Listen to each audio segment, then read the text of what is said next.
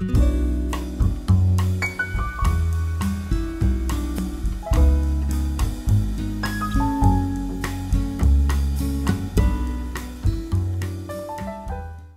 und willkommen zur Albenrevue. Fripp und Eno hatten in 2005 nach 30 Jahren wieder ein Album herausgebracht mit dem Titel The Equatorial Stars. Ich hatte darüber im letzten Video berichtet. Doch dies war nicht die erste musikalische Begegnung in 30 Jahren. In Wirklichkeit hatten sie in all den Jahren immer wieder Tracks aufgenommen, die dann, wie so oft, in Enos Archiv landeten. Oder in Robert Fripps Archiv, ich weiß es nicht, ich war nicht dabei. Keiner dieser Tracks befand sich auf The Equatorial Stars, dessen Klang doch sehr wie aus einem Guss ist und somit, das mutmaße ich mal, in einer fokussierten Session entstanden ist. In 2007, also zwei Jahre später, erschien dann schließlich das vierte Album dieses untypischen Duos mit dem Titel Beyond Even 1992 bis 2006. Dies ist also eine Zusammenstellung aus Tracks, die Fripp und Eno einem, in einem Zeitraum von 15 Jahren aufgenommen haben. Wer an dieser Stelle den gewohnten Frippatronic Ambient Sound erwartet, wird vermutlich etwas enttäuscht sein. Doch das macht es natürlich nicht zu einem schlechten Album. Man muss nur wissen und akzeptieren, dass das hier eine ganz andere Blutgruppe ist.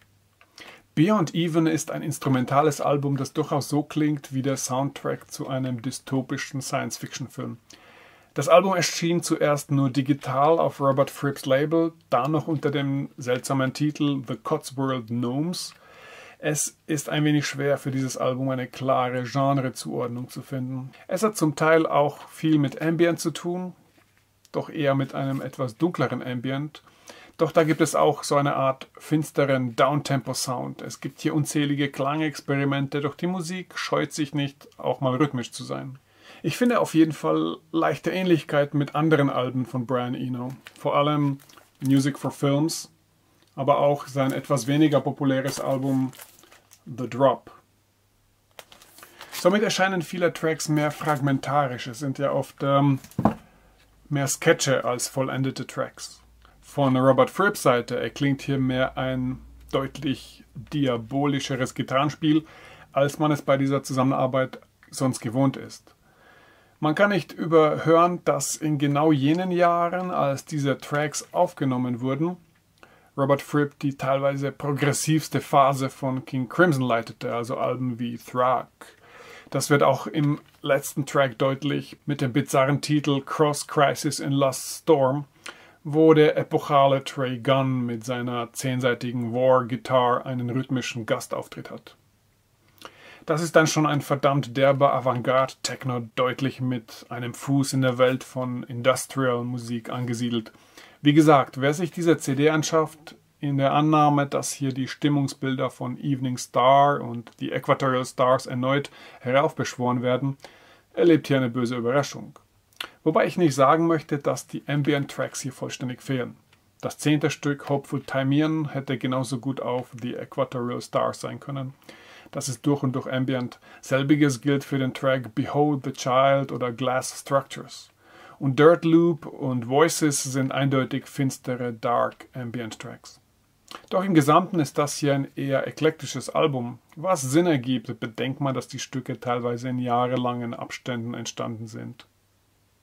Wie soll man also dieses Album bewerten oder einstufen? Nun, der Vorteil einer solchen Produktion liegt sicherlich darin, dass sich diese Musik nicht so schnell abnutzt, da sie so extrem ominös aufgenommen worden ist. Es sind eben alles Instrumentalstücke, teilweise fragmentarisch beschaffen, teilweise aber auch äußerst vollendet. Man wird also auch nach langer Zeit immer wieder die Augenbrauen heben und beim erneuten Zuhören feststellen, dass man etwas ganz Neues entdeckt hat. Sichtlich ein gutes Album für Entdeckungen. Und gerade wenn man progressive Musik sucht, die gänzlich jenseits des ausgetretenen Pfades der Popmusik liegt, ist man hier gut aufgehoben.